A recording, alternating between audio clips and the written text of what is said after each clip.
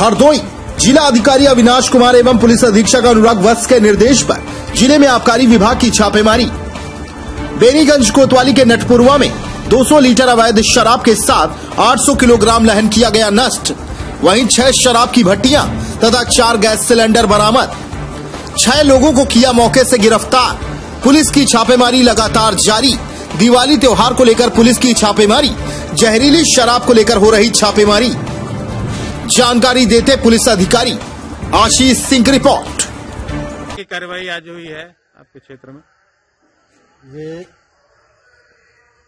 मैं पुलिस बल जब छापा मारा गया है उसमें लगभग 200 लीटर शराब और 8 कुंटल लहन जो मौके पर नष्ट किया गया है और दो तीन भट्टियाँ और सिलेंडर और छह मुलजिम मौके पकड़े गए हैं और तीन फरार हैं, दो।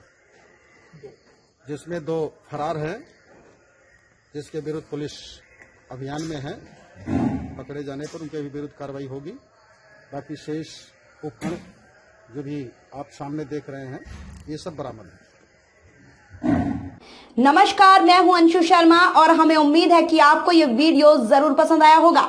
ऐसे ही बाकी वीडियो देखने के लिए देखते रहिए द इंडियन समाचार और वीडियोस पसंद आने पर हमारे चैनल द इंडियन समाचार को लाइक, शेयर और सब्सक्राइब करना ना भूलें।